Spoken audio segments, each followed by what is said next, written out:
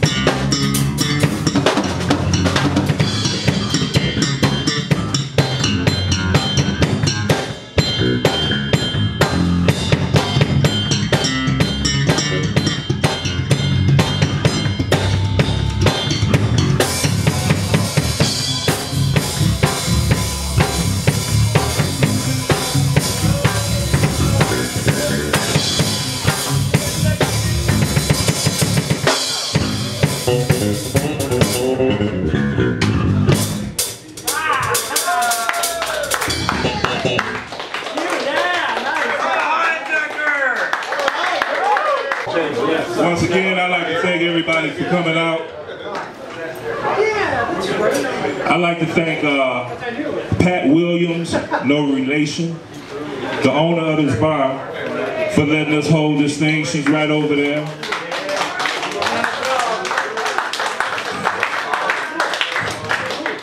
The reason I wanted to do a big one is because for those of you know, we do the little round tables at Reggie's house. We, we try to do them every month, but we can only fit 12 people in there. So I wanted to do a big one and get as many people as I can and interview as many people as I can. Like I said before, my goal is to interview every Detroit bass player I don't care if you live in Detroit or Inkster, where we are right now. That's where I'm from, Inkster. Uh, Westland, that's where I live right now. Garden City, Flint, I don't care where you're from. We're trying to get an interview with every Detroit bass player in the surrounding areas. Even if you're in California and you want to interview, I can do you via Skype or any other uh, web chat service.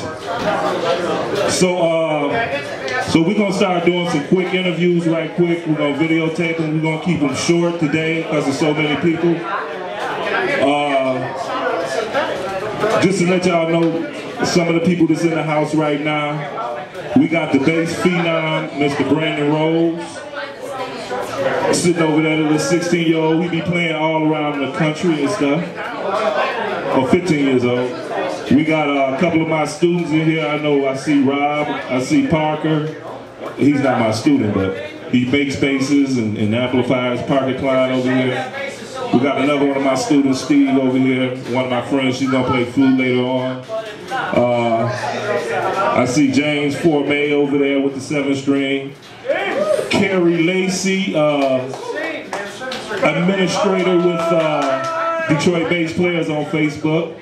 We also got Mr. Reggie Canty, who I can't do this without him. You know, that's I, I always want to say sidekick, but he ain't my sidekick.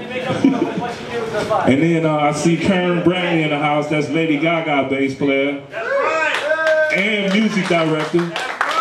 He also plays for Ne-Yo. He plays for uh, he played for Destiny's Child, and I'm gonna be doing an interview with him shortly because I can't wait to see how he did that. Maybe I can get a job playing with one of these people. We also have in here uh, a special guest to me, uh, Mr. Craig Sconey is here. For, for those of you who don't know, uh, a few years ago, Craig Sconey put together uh, a, a, site on Facebook called Detroit Bass Players. And for some reason, that's how we all here today from communicating on that. So thank you, Craig.